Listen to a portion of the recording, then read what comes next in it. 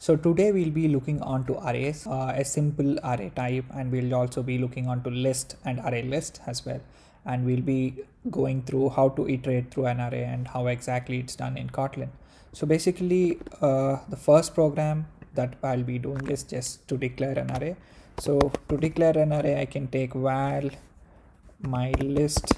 So basically, we say array of one, two, three, four, and then I can also have an string type in this because I'm not defining the data type explicitly so I say Sachin so now I'll just try to iterate uh, through this array so, so that you understand how a basic array is created in Kotlin. For my for elements in my list we have just created an array so it can contain integer or string. So now I want to print the elements and then I can print out the elements. So let's run this. Yeah so you can see the output here one two three four and such. So basically if you want anything to be kept inside an array so you don't explicitly say the data type but in case you want this list to contain integers so you want to have integer so you can specify it as array of int. So now you cannot have a string data type here so I have to remove it. So now it's all good so I will be running it. So you can see like if you want to explicitly say what value should be contained in an array you just say what it is in the form of array and what it accepts. So it accepts int so now we have array and then we are trying to iterate it over a loop. So we can also declare one more array list. So now I want this as list.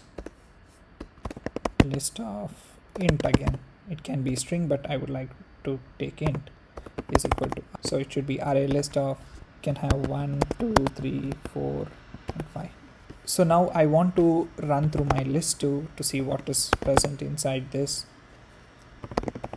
In my list 2 say println my limits so now I run this program. Let's see the outputs right? So this I would like to comment and then rerun it again so you can see one two three four five. So basically you can define the data type here like what exactly you want. Suppose you want uh, an array of type string you can declare it as strings. You want it double you can declare it as double. So this is a way of uh, creating arrays in kotlin. And you can also create a list. So now next we'll be seeing how to create an array list basically. Instead of an array and list i want to create an array list so in that way so I say val my list 3 array list of strings. Let's go with strings this time. So I say I say array list of Deepesh Sachin and I guess this is good just to demonstrate. So again I run a for loop. Elements in my list 3 so print ln element. So let's run it. So this is what I'm running my list 3 so you can see Deepesh Sachin so basically the idea of this uh, exercise is to make you understand like we can create array we can create a list we can create an array list in kotlin. So now we have seen for loops uh, to iterate over the array list. So if you want to use something called for each how exactly can we do is what we'll be seeing now. So instead of a for loop it's a simple for loop where you can iterate uh, through the list and then print out the values. So if you want to use something like for each loop how does a for each loop works in this case? So for each so you can just print ln it. So it refers to the uh, current uh, element one single element.